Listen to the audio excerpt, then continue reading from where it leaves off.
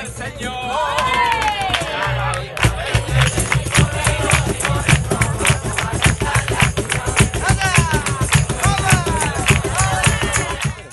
La verdad que el puente ha sido mucho mejor que, que el que tuvimos el año pasado.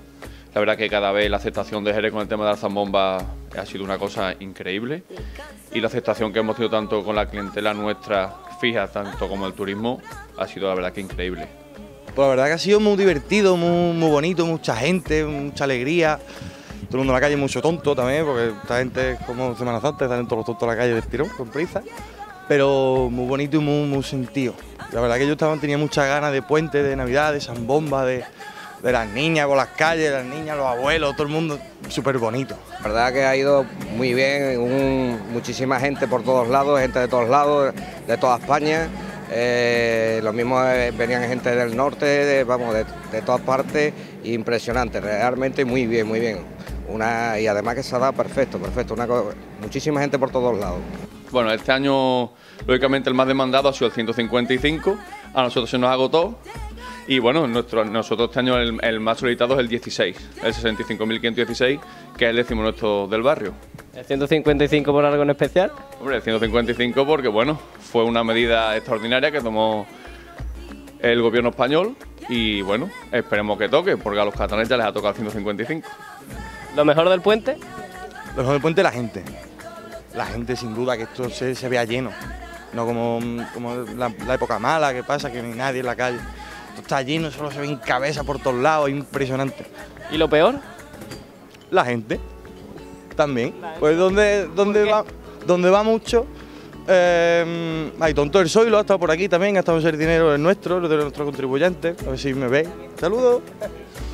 Y, y nada, y eso, también es verdad lo que ha dicho José. Hay mucho peligro, muchos coches, muchos niños. Los padres que salen con los niños bebés y no tienen cuidado con, de guardarlos, salen como motos. Son Pokémon los niños hoy en día. Y aquí necesitaríamos muchísima seguridad. No tanto la pilona como policía por las noches, hay mucho loco que te mm, con, con pinchos, con cosas, con palos, que vas por la noche a las una de la mañana y anda un gacho con un palo que te reviento. Bueno, el tema de lo que es servicio de, de urinario y eso, eh, el ayuntamiento tendría que hacer algo sobre ese tema porque nosotros teníamos colapsado totalmente los servicios, pero nosotros hemos contratado seguridad aquí, es una empresa de seguridad y nosotros estupendamente, nosotros no hemos tenido ningún tipo de botellones ni nada de eso porque se han encargado de limpiar la plaza de botellones, de gente que, que viene nada más que a, eh, a estilo botellón y entonces eso lo hemos eliminado. Sí, a falta- aparte de esa queja, hay quejas que, bueno, alguien tiene ganas de orinar, puede esperar 5 o 10 minutos lo que es un bar. Yo lo que no entiendo es que lo que es la falta de seguridad. O sea, lo que no es normal es que no haya una pilona en la calle Tornería cuando hay una afluencia de gente.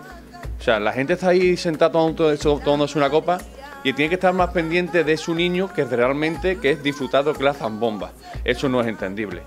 O sea, yo entiendo que esa pilona está abierta para que son servicios de emergencia, pero no para todo el mundo. Quiero decir que eso es, vamos, y, y yo me he quejado, yo me quejé el año pasado, me he vuelto a quejar este año, y usted puede comprobar perfectamente que las cosas siguen pasando. Y otra queja es la hora de la limpieza de las calles. O sea, era el sábado y estaban regando a las once y media de la mañana. Nosotros, los comerciantes aquí, limpiamos nuestras instalaciones para que el cliente lo vea limpio y a las 12 está hecho una auténtica mierda. Entonces, ¿de qué nos vale? Los clientes no, lo decían. A con la fregáis aquí las calles. Lo, tengo que decir, los operarios no tienen culpa. Pero claro, alguien les manda a esos operarios, ¿no?